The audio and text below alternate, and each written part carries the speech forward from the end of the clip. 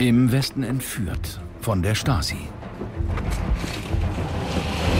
Ich verstehe es nicht, dass ein Mensch so verschwinden kann. Einfach so weg. Manche kehren nie zurück. Das war ja immer die Ungewissheit. Lebt er, lebt er nicht mehr. Tot oder lebendig. Für Mielkes Menschenjäger nur eine Frage des Auftrags. ZDF History mit Guido Knopp. Liebe Zuschauer, willkommen. Das Ministerium für Staatssicherheit wäre dieser Tage 60 Jahre alt geworden. Vermutlich werden manche Veteranen wieder darauf anstoßen. Dabei gibt es wirklich keinen Grund zum Feiern. Denn die Stasi war ein Krake, der die ganze DDR mit Angst und Terror überzog und meinte, ihre Macht sei grenzenlos im wahrsten Sinn des Wortes. Oppositionelle, aber auch geflohene Genossen mussten jahrelang befürchten, auch im Westen von den Menschenjägern des Herrn Mielke aufgespürt zu werden. Manchmal mit tödlichen Folgen. Sehen Sie dazu einen Film meines Kollegen Christian Frei. Berlin-Lichterfelde, 8. Juli 1952, morgens um halb acht. Der DDR-Kritiker Walter Linse ist auf dem Weg zur Arbeit. Ja, haben Sie vielleicht Feuer?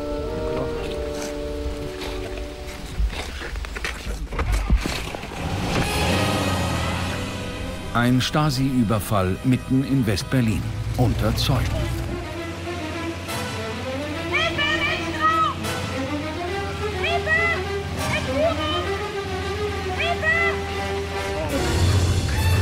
Wieder Menschenraub in West-Berlin. Heute früh wurde Dr. Linse in einem mit brutalster Rücksichtslosigkeit ausgeführten Überfall in die Sowjetzone verschleppt.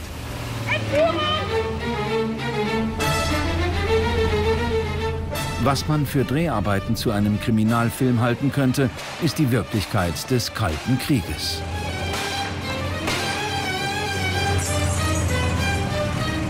Der Fall Linse war ein besonders dreistes Bubenstück, zumal sich ja dann hinterher auch herausstellte, dass die Staatssicherheit dazu Berufskriminelle gedungen hatte, man wollte es kaum für möglich halten, dass man also in Westberlin sozusagen Zustände, wie man sie in Chicago der 20er Jahre vermutet hatte, äh, walten lässt. Nicht? Berlin und die Welt sind empört über diesen neuen Fall eines Menschenraubes am hellen Tag. Nur die Brille des Verschleppten blieb zurück. An dieser Stelle passierte das Auto mit dem um Hilfe rufenden Dr. Linse die Grenze. Den Westberlinern bleibt nur das Nachsehen und hilflose Wut. Tausende kommen zur Protestkundgebung mit dem regierenden Bürgermeister. Hier ist ein Mensch aus unserer friedlichen Mitte geraubt worden, hinausgefahren in die Folterhöhlen dieser Verbrecher. Jetzt muss unsere Geduld ein Ende haben. Er rief, gebt uns Linse zurück, lasst ihn frei. Das ging über den Lautsprecher natürlich, über den Rundfunk und wurde natürlich auch in Ostberlin äh, zur Kenntnis genommen, auch bei den Herrschenden. Kommunistische Gegendemonstranten tauchen auf, wollen die Veranstaltung stören. Die Polizei versucht, das Schlimmste zu verhindern. Es war eine unglaubliche Wut und Empörung über diese Vorgänge. Wobei ich immer wieder daran erinnern muss, es war kein Einzelfall. Aber der Fall, der das Fass zum Überlaufen bringt. Der Jurist Linse ist ein wichtiger Mitarbeiter des UFJ, des Untersuchungsausschusses freiheitlicher Juristen. Finanziert mit US-Dollars und schon seit Monaten im Visier der Stasi. Für Ostberlin ist Linse ein Spion und Staatsfeind, weil er Kontakte in die DDR unterhält für den UFJ.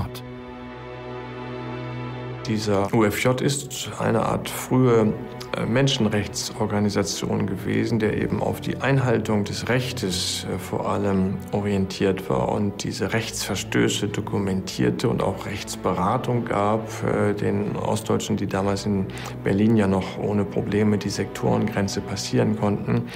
Und Linse hat das organisiert. Linses Frau Helga sucht Hilfe beim amerikanischen Hochkommissar Donnelly.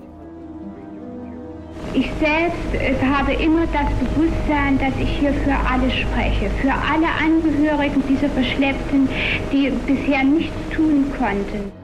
Die Amerikaner fordern die Freilassung des Entführten.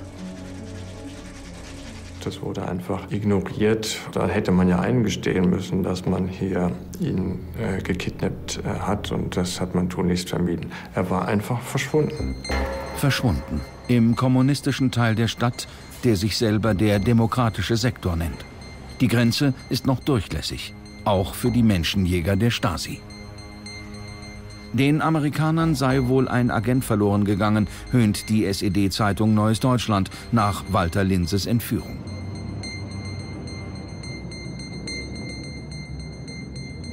Auf der einen Seite wollte man damit Macht und Allgegenwart demonstrieren im Westen. Auf der anderen Seite wollte man aber als Urheber der Entführung eigentlich nicht in Erscheinung treten. Sprich, jeder sollte es eigentlich wissen, aber auch wiederum nicht. Besonders gefährdet sind Flüchtlinge aus der DDR. Warnungen für Neuankömmlinge in den westlichen Auffanglagern. Ihnen wurde mitgeteilt, vorsichtig sein bei Einladungen oder bei irgendwelchen abstrusen äh, Treffen. Es droht der Menschenraub. Und es gab natürlich auch ähm, von den zuständigen Behörden in West-Berlin Aufrufe an die Öffentlichkeit, wachsam zu sein. Aus Sicht der Stasi sind die Flüchtlinge Verbrecher. Wer gegen friedliebende Menschen und unseren Staat seine Hand erhebt, endet im Zuchthaus. Wer sich in Gefahr begibt, kommt darin um. Viele haben die Wahrheit dieser Worte kennenlernen müssen, die in Verblendung unsere Deutsche Demokratische Republik verließen. Gegen Verbrecher schlagen die Organe der Staatssicherheit hart und unerbittlich zu. 17. Juni 1953. Volksaufstand in der DDR. Gegen die Erhöhung der Arbeitsnormen und für mehr Freiheit. Die Stasi hat den Aufstand nicht kommen sehen und sucht die Schuld dafür im Westen. Von Anfang an hat die Staatssicherheit die These aufgestellt, das ist eine Provokation, die von westlichen Agentenzentralen im Zusammenwirken mit DDR-internen Klassenfeinden, Provokateuren inszeniert worden ist. Stasi-Chef Ernst Wollweber gibt Befehl zur Operation Blitz. DDR-Gegner im Westen sollen verschleppt werden über die deutsch-deutsche Grenze in den Osten.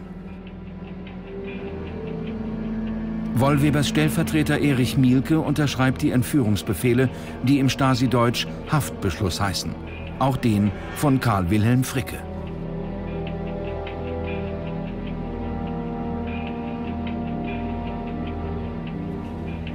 Fricke ist damals ein junger Journalist aus dem Osten geflohen.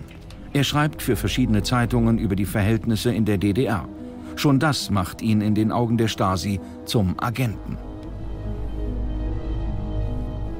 Am 1. April 1955 bekommt er eine Einladung von einem Bekannten, der ihn für seine Artikel mit Informationen versorgt.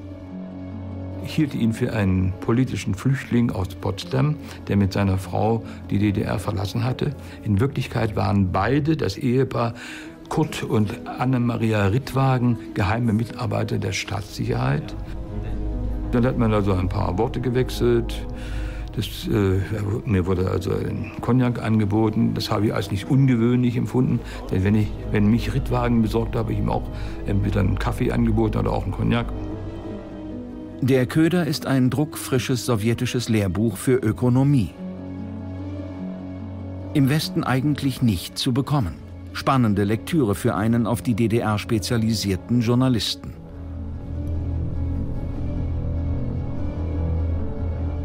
Das Opfer schöpft keinen Verdacht. Ich habe dann gesagt, ich muss jetzt aufhören, ich muss los. Ich hatte mich nämlich mit meiner damaligen Freundin, meiner heutigen Frau, verabredet gehabt. Um 16 Uhr. Ja, wir waren verabredet. Ich hatte mein Staatsexamen gemacht. Ich war ja Krankenschwester. Und äh, wir wollten dann eigentlich ein bisschen feiern und wollten ja eigentlich auch in diesem Jahr noch heiraten. Ich wollte nur erst mein Examen haben, war eben zu altmodisch, um, um dann eben auch nachher noch arbeiten zu können. Schnell noch einen Cognac auf den Weg.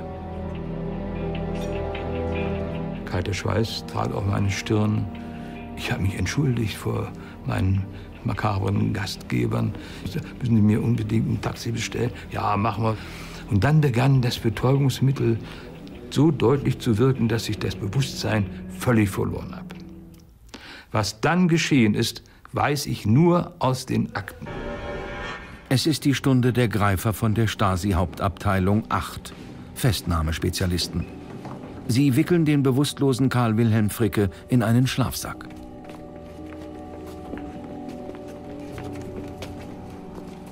Verschleppt im Schutz der Dunkelheit. Ich bin dann erst gegen 23 Uhr allmählich zu mir gekommen. Um mich herum mehrere Stasi-Offiziere, die auf mich einbrüllten. Weißt du, wo du bist, du Schwein? Du bist hier. Ich sagte, ne, weiß gar nicht. Und ich war noch völlig benommen. Ich konnte das auch gar nicht geistig richtig verarbeiten und realisieren. Ich habe sogar noch gesagt, wenn ich euch nicht passe, kann ich ja gehen. Und dann sagte er, dann geh doch. Und ich bin dann tatsächlich habe eine Tür zugewandt, wurde zurückgerissen, habe mich gewehrt, bin dann, natürlich haben die zurückgeschlagen. Dann wurde ich normal äh, bewusstlos. Willkommen im sogenannten U-Boot, dem unterirdischen Gefangenentrakt des Stasi-Gefängnisses Berlin-Hohenschönhausen.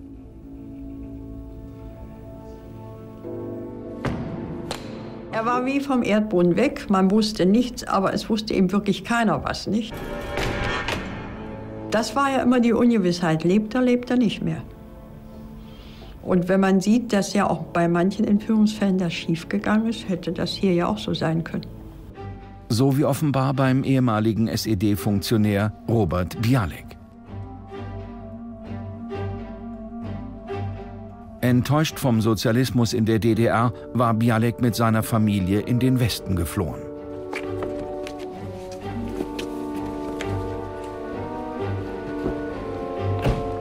Doch die Menschenjäger der Stasi spüren ihn auf. Seitdem weiß man nichts mehr von ihm. Nichts mehr. Gar nichts mehr. Weg. Also es ist mir unverständlich. Ich verstehe es nicht, dass ein Mensch so verschwinden kann. Einfach so weg. Also als wenn es ihn nie gegeben hätte. Das letzte gemeinsame Familienfoto. Dagmar Ahlheits Vater weiß, dass er auf der Abschussliste der Stasi steht. Denn er macht Radiosendungen für das deutschsprachige Programm der BBC.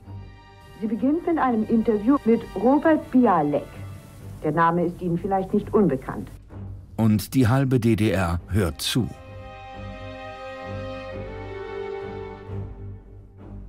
Die haben also eifrigst immer gehört, die wussten ganz genau, wann mein Vater sprach in der deutschsprachigen BBC und haben dann also sehr rege äh, daran teilgenommen, was er zu sagen hat. Das hat natürlich den Zorn der Herrschenden hervorgerufen.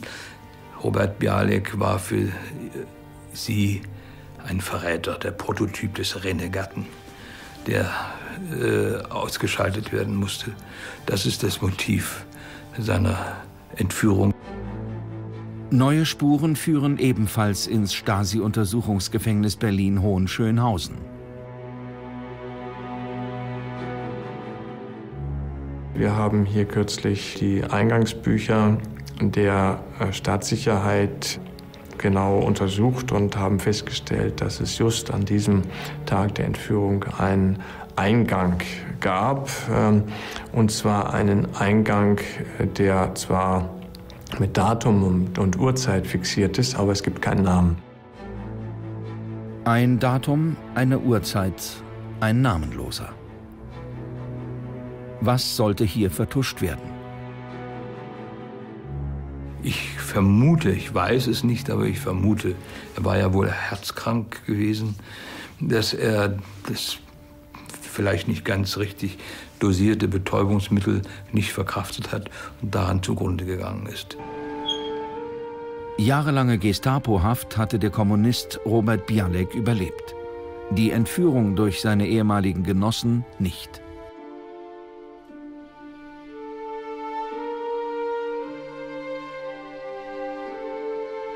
Was ich mir persönlich wünsche, ist, dass er wenn das wirklich alles so gelaufen sein sollte, was ich also 100% auch glaube, dass er wirklich verstorben ist. Und wenn es denn geht, bitte noch im Auto, damit man diese Menschen hat nicht mehr quälen müssen, weil er ist genug gequält worden.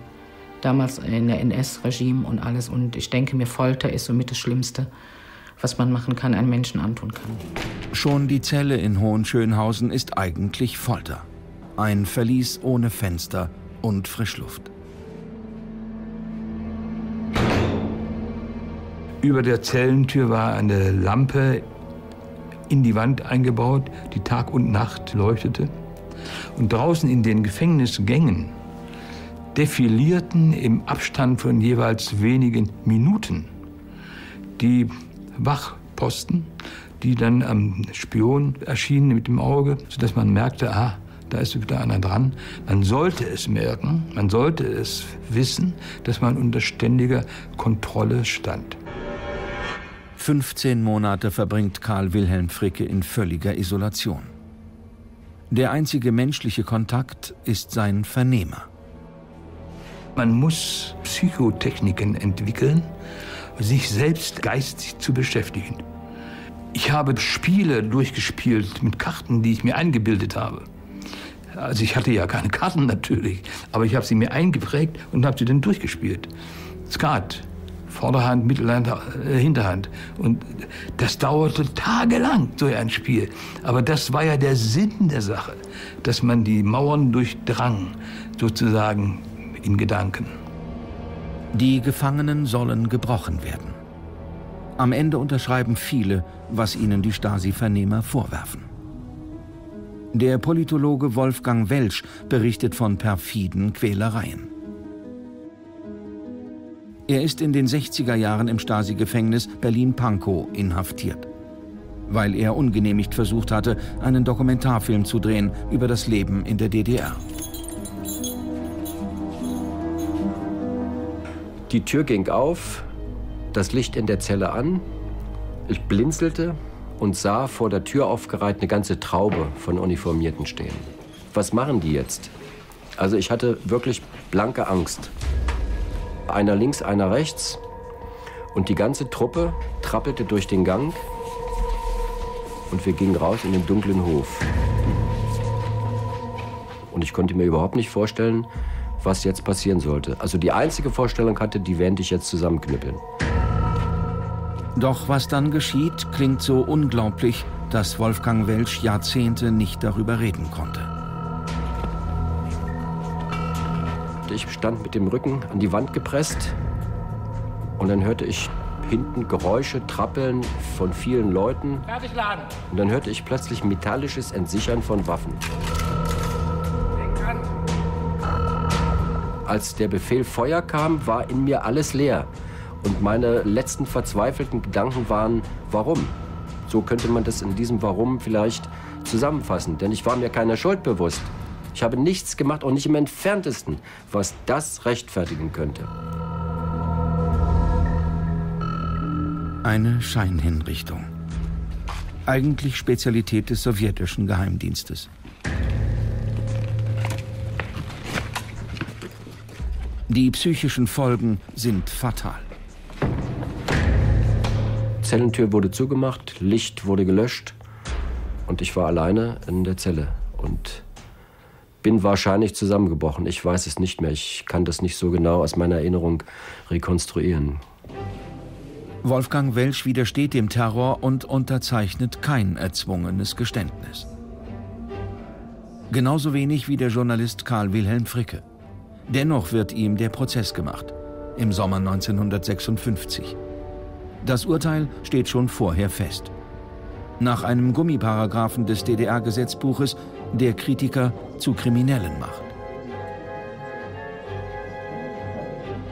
Das alles hat dann dazu geführt, dass man mit Ach und Krach ein Urteil zurechtgeschustert hat. Vier Jahre Zuchthaus unter Anrechnung der Untersuchungshaft nach Artikel 6 Absatz 2 der Verfassung der DDR von 1949. Boykotthetze, Kriegshetze. Abzusitzen im Stasi-Knast Bautzen II. Zuchthaus für kritischen Journalismus. Zum ersten Mal darf Fricke jetzt ein Lebenszeichen an seine Familie schicken. Liebe Mutter, ich bin kerngesund und blicke zuversichtlich in das Morgen. Du darfst nicht traurig sein um mich. Jede Träne, die du weinst, lastet auf meiner Seele. Und grüße bitte Friede Lind von mir. Ich denke oft und gern an sie. Es war eine Erlösung. insofern, man hat erst mal gewusst, dass er lebt und wo er ist. Allerdings muss ich ehrlich sagen, habe ich äh, immer noch gezweifelt und habe gedacht, du glaubst es erst, wenn er vor dir steht. Fricke bittet Freundin und Mutter, ihn nicht im Gefängnis zu besuchen. Er fürchtet, seine Fassung zu verlieren. Diesen Triumph will er seinen Peinigern nicht gönnen. Ich habe mich permanent gefühlt äh, in der Hand uniformierter Verbrecher. Das sage ich mal in aller Deutlichkeit. Für mich war das nie Normalität. Normalität war der Tag der Entlassung. Drei Jahre und 364 Tage nach seiner Entführung kommt Karl Wilhelm Fricke wieder in die Freiheit. Nachmittags kam er an. Er war blass, sehr schlank, aber sonst unverändert. Das war ein herrliches Gefühl. Also es war wirklich wunderschön und wir haben dann also schon diesen Abend wunderschön verbracht. Und dann äh, sagte ich, ich sage, was möchtest du denn essen? Irgendwas Leides. Nee, sagt er, ich möchte jetzt ein anständiges Bier und Tartar. Dann habe ich auch keine Schwierigkeiten gehabt, mich sofort wieder einzu. Ich habe also nach acht Tagen angefangen, wieder zu schreiben. Mein Thema. Nun hatte ich ja genügend Stoff, wenn ich mal so sagen darf. Happy End in Weiß. Hochzeit am Jahrestag von Frickes Verurteilung in der DDR. Er hat gesagt, dass er also am 11. Juli heiraten möchte, weil er lebenslänglich jetzt verurteilt werden müsste. Das haben die ja da drüben nicht geschafft. Ne? Und wir haben dann auch wirklich am 11. Juli in dem Jahr geheiratet. Zwei Jahre später, 13. August 1961. Der Mauerbau zementiert die deutsche Teilung. Was war das für eine Lust am 13. August? Dem einen bringt die 13 Pech, dem anderen bringt sie Glück. Doch was man mal verloren hat, bekommt man nicht zurück. Viele werden sich erst nach Jahrzehnten wiedersehen. Auch für die Menschenjäger der Stasi wird die Schließung der Grenze zum Problem. Man hatte sich praktisch ja selbst eingemauert und musste durch die Grenzübergang stellen und konnte nicht irgendeine Seitenstraße benutzen. Aber auch das politische Gesamtumfeld hat die SED dann doch dazu veranlasst, diese äh, sehr spektakulären Entführungsaktionen äh, zurückzufahren. Hinter Mauer und Stacheldraht versucht die DDR sich als das bessere Deutschland zu inszenieren. Frisch, fröhlich, jugendlich. Sieben junge Mädchen, ja, die fuhren nach Berlin, nach Berlin in die Stadt. Frohe Lieder. Blondes, braunes, schwarzes Haar wehte leis im Frühlingswind. Jede war, jede war ein schönes Kind. Die Stasi verfolgt eine neue Taktik. Diskretes Handeln statt sichtbarer Gewalt. Das erste Ziel des MFS war, alle diese Dinge, diese schmutzigen oder nassen Sachen, wie man so im Jargon der Geheimdienste sagt, zu vertuschen. Auf jeden Fall sollte vermieden werden, dass der friedliebende Arbeiter- und Bauernstaat in irgendeiner Form auch nur in den Verdacht gerät. Ein Sonderzug nach Erfurt bringt frischen Wind in die deutsch-deutschen Beziehungen. Willy Brandt besucht als erster Bundeskanzler die DDR 1971. Die Menschen kommen, um ihm zuzujubeln, nicht dem Namensvetter Willy Stoff, dem ungeliebten Staatsoberhaupt der DDR.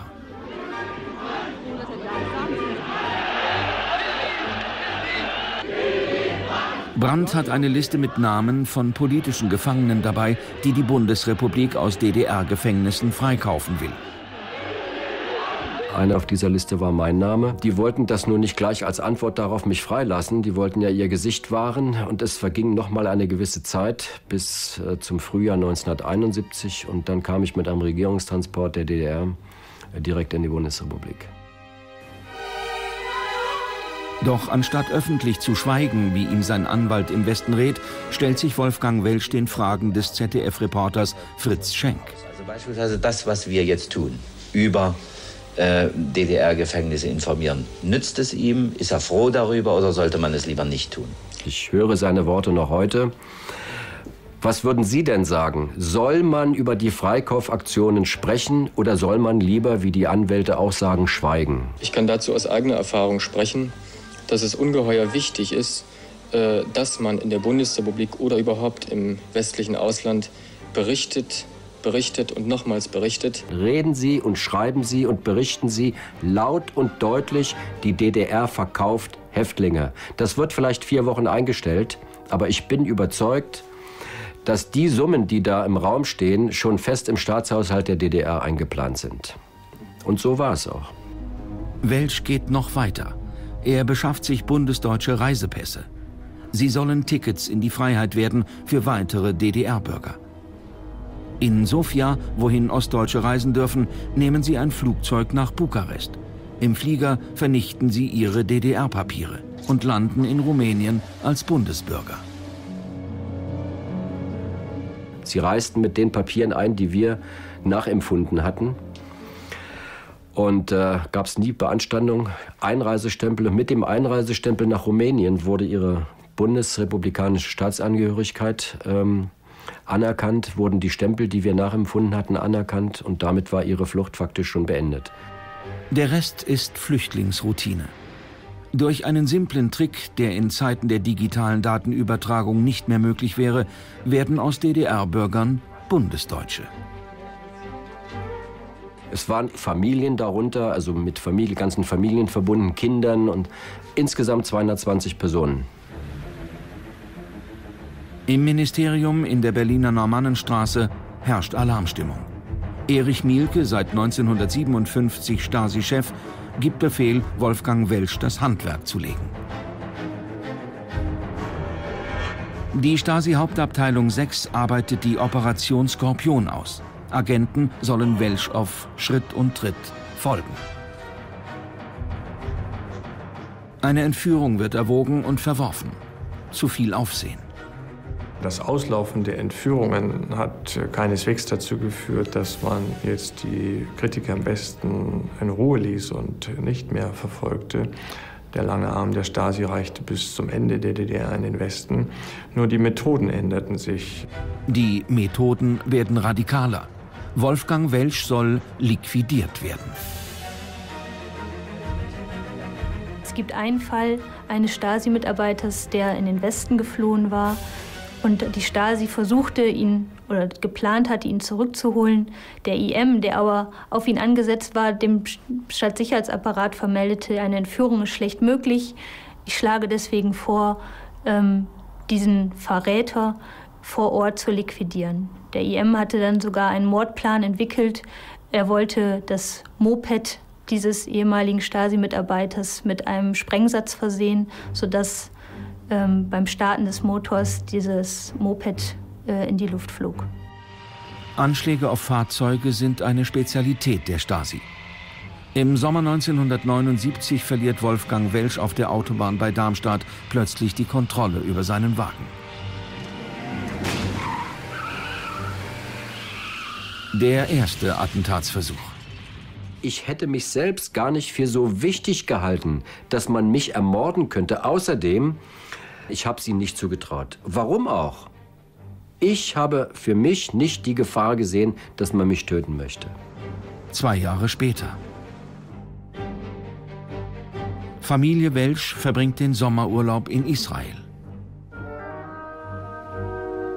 Es ist Sommer, man ist relaxed, man will Urlaub machen und man denkt instinktiv an die schönen Dinge und nicht daran, dass das eine Falle sein könnte. Mit dabei ist der beste Freund von Wolfgang Welsch, Peter H. Ich vertraute Peter natürlich, klar. Ich hatte ja keinen Anlass, ihm zu misstrauen. Er hatte alle Eigenschaften, die man an einem guten Freund schätzt.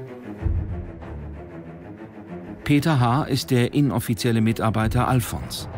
Seit Jahren von der Stasi auf Welsch angesetzt. Er hat noch eine geheimnisvolle Begleiterin mitgebracht, die sich Susan nennt. Peter H. macht ein freundliches Angebot. Er sagte, geht ihr mal baden, wir machen ein Essen. Das heißt, diese Susan und der Peter blieben im Wohnmobil und wollten Buletten braten. Mischten da einen Teig und die mischten da auch eine zehnfach tödliche Dosis Thallium in diesen Bulettenteig. Thallium, ein giftiges Schwermetall für den perfekten Mord. Vier Wochen ringt Wolfgang Welsch mit dem Tod. Bis seine Ärzte endlich die richtige Diagnose stellen. Nun war klar, der Mann ist vergiftet.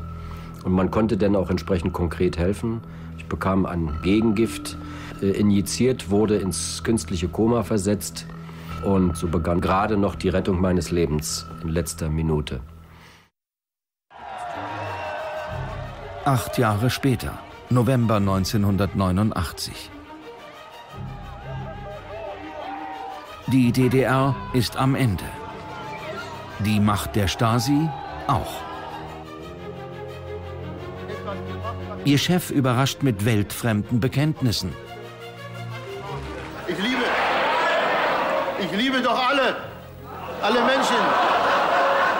Na, ich liebe doch, ich setze mich doch dafür ein. Also ich bitte um Verständnis, wenn ich das gemacht haben sollte. Die Gegenliebe der DDR-Bürger hält sich in engen Grenzen. Im Januar 1990 wagen Demonstranten den Sturm auf die Berliner Stasi-Zentrale, auf der Suche nach Wahrheit. Das ganze Material, was hier war, das ist doch weg. Das befindet sich doch ja nicht mehr hier. Vieles ist noch da, auch wenn die Stasi tatsächlich in letzter Minute versucht hat, das Schlimmste zu vertuschen.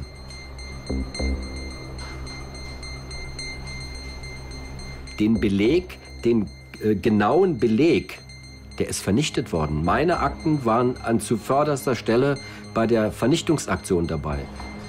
Eine mühsame Spurensuche beginnt. Schnipsel für Schnipsel. Indiz für Indiz. Das Problem ist, dass diese Mordaufträge in den Akten zunehmend nebulös umschrieben sind und dann in den entsprechenden Gerichtsverhandlungen die Stasi-Beteiligten dann ja auch erklärt haben, etwa liquidieren würde gar nicht töten bedeuten, sondern nur einen Vorgang zum Abschluss zu bringen oder ähnliches. 1994 ist es soweit. Der Berliner Staatsanwalt hat genug Material, um den Mann anzuklagen, der Wolfgang Welsch vergiftet hatte. Peter H., alias I.M. Alfons.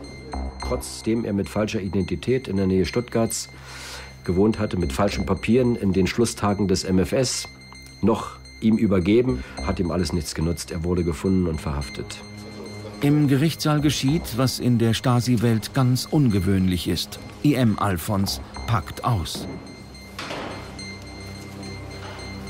Äh, ich hatte den Auftrag gehabt, dem Herr Welsch äh, ein Mittel in, äh, beizubringen. Das äh, würde ziemlich unauffällig gehen und ich würde, müsste so lange mit den Leuten zusammenbleiben, bis ich Symptome merke und sollte mich dann von denen absetzen. Ich hatte wirklich Glück im Unglück, dass ich an einen Täter geraten war, der nicht nur seine Schuld eingestand, der reuig war, der auch Scham zeigte, mit den Worten, es tut mir sehr, sehr leid, die Schmerzen, die ich dir bereitet habe und überhaupt alles, was ich dir bereitet habe, kannst du mir verzeihen. Und er hat mehr gestanden, als er hätte gestehen müssen, beziehungsweise als ihm nachgewiesen werden konnte. Er hat Namen und Organisationsstrukturen preisgegeben, äh, die keiner von den Führungsoffizieren preisgegeben hat. Sechseinhalb Jahre bekommt H. wegen versuchten Mordes. Generalmajor Heinz Fiedler, der die Operation Skorpion geleitet hatte, erhängt sich in der Untersuchungshaft.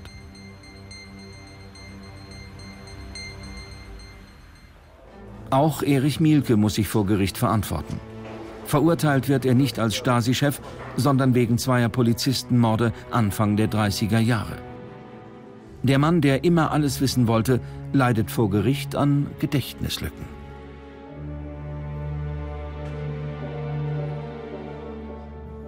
Nach zwei Jahren wird der einstige Menschenjäger vorzeitig aus der Haft entlassen.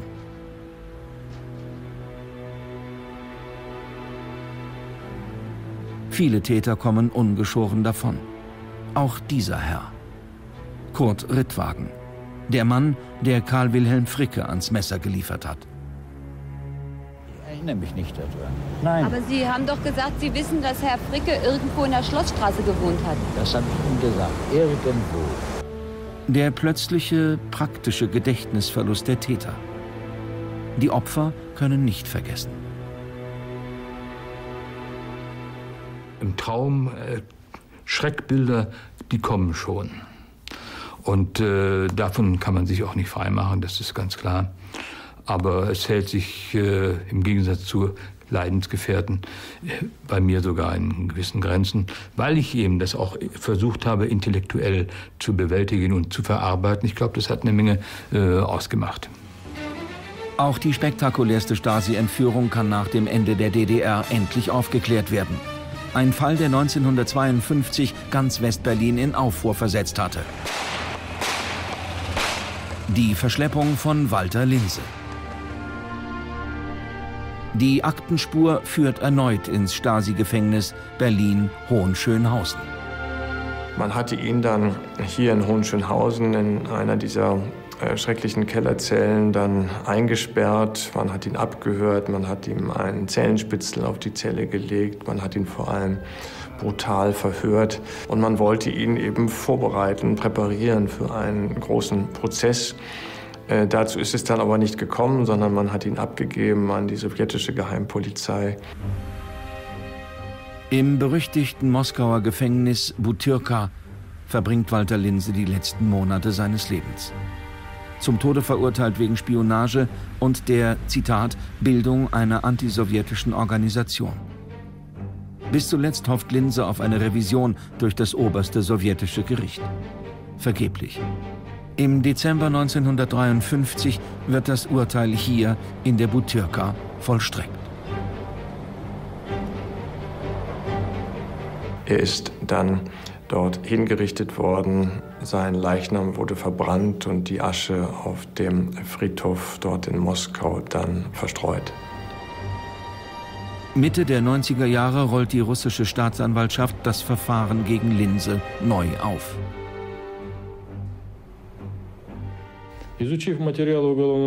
Nach Überarbeitung der Materialien in dieser Strafsache sind wir der Überzeugung, dass Walter Linse zu Unrecht verurteilt wurde.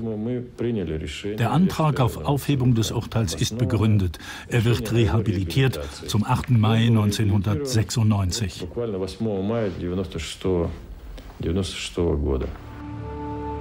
Auf dem Moskauer Donskoi-Friedhof findet Walter Linse seine letzte Ruhe. Bei anderen Opfern von Stasi-Entführungen gibt es bis heute offene Fragen. Wo etwa Robert Bialek seine letzte Ruhe fand, ist bis heute ungeklärt. Ich meine, jeder Mensch hat das Recht zu erfahren, was mit seinem Angehörigen passiert ist. Und jeder Mensch möchte gerne trauern können. Und jeder Mensch möchte gerne irgendwann mit der Trauer abschließen können. Und das ist mir persönlich genommen. Und das ist natürlich auch meinen Kindern genommen, die äh, das Schicksal ihres Großvaters natürlich auch kennen. Robert Bialek, Walter Linse, Karl Wilhelm Fricke. Drei von mehr als 400 Fällen, in denen Menschen von der Stasi gekidnappt wurden.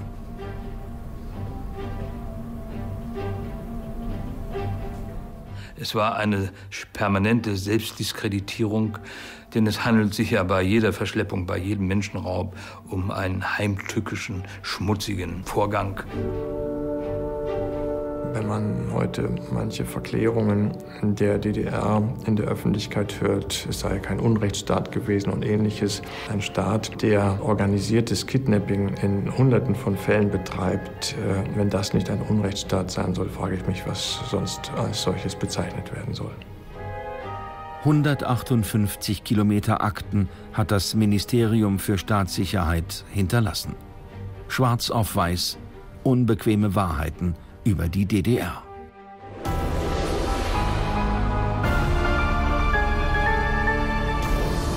Um das Bild der DDR wird mittlerweile wieder hart gerungen.